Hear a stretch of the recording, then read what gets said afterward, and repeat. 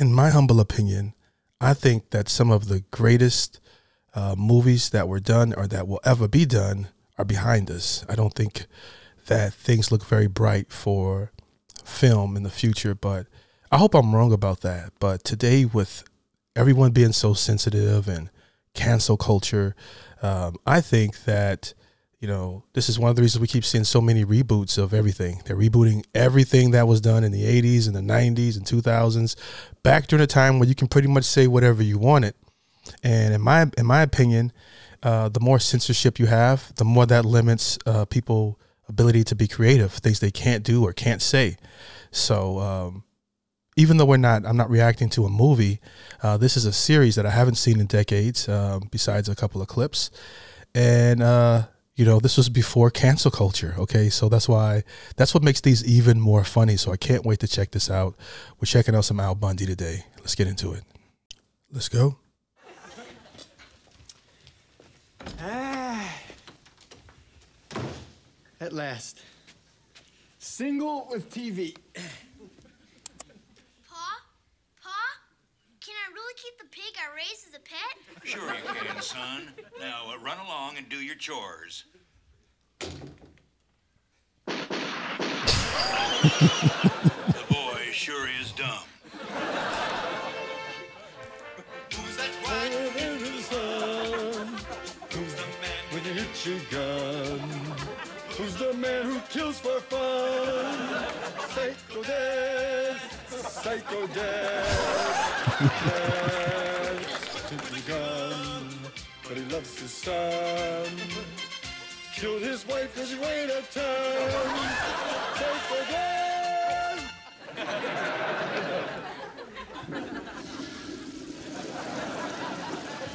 Psycho Dad, Psycho Dad, Psycho Dad.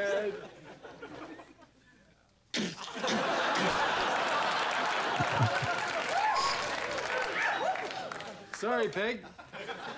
But I'm gonna have to leave you there as a lesson to other women who don't cook for me.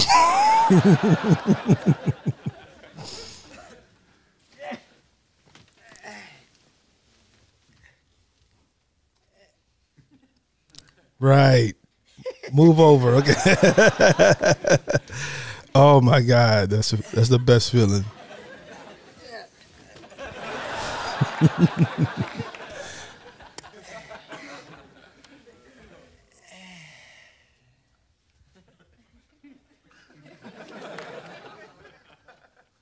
Al.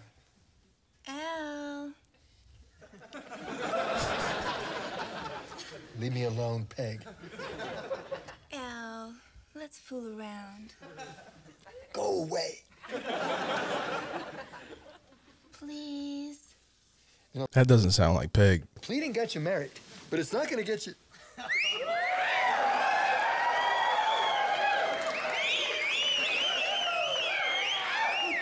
Well, hello. Are you gonna make me beg? Oh, you will do things, but begging will not be one of them. Daddy! Oh, Daddy. Daddy.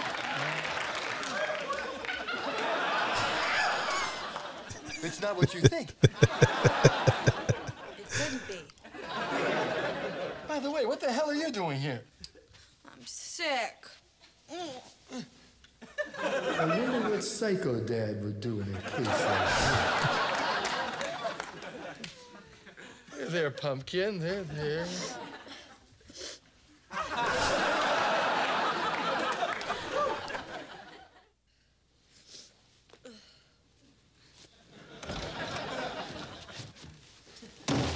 God, what a day in the shoe store. We had a clearance sale. We had to get rid of all our size 13 quadruple Ds. The store was packed with women. Well, there were actually only two in the store, but it was wall to wall. you know, you'd think you'd think that women with big fat feet would be slim and beautiful, but surprisingly, Daddy, I'm sick. Will you make me some toast? well, Kelly, you were here all day. Couldn't you make some yourself? No. You just sat in the dirty tissues. You are your mother's daughter, aren't you? Would you mind telling me why you couldn't make some? Isn't it obvious? Because I am sick. And if I touched the bread, then I would get my germs on it, and then I would be eating my own germs.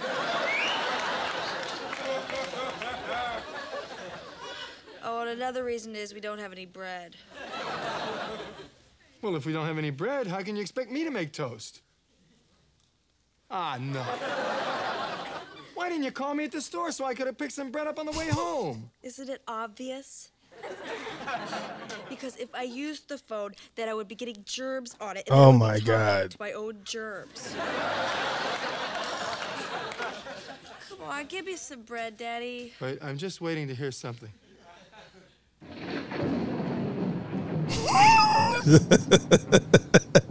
now I can go. like said it couldn't get any worse, huh? Except if this was to happen, and Murphy's Law has it. Uh, I just love this, and these jokes hit a little bit even harder when you become a father. You know, so you know I used to laugh when I was a kid at these jokes, uh, and now I, I laugh for different reasons. Now that I'm older, isn't that crazy? Definitely one of my favorite series of all time. Up there with Seinfeld. Um, these jokes hit even more harder, you know, when you become a father. Uh, I laughed at them when I was a kid, okay, and now I laugh for different reasons now that I'm older. Isn't that isn't that crazy? So, uh, absolutely love it. It's like seeing it for the first time because I haven't seen this in decades. Uh, I vaguely remember this episode, but I still laugh at it. It's hilarious. Hope you guys enjoy the reaction. If you did, please feel free to like the video, subscribe, hit the notification bell. That'll let me know to put out more stuff like this.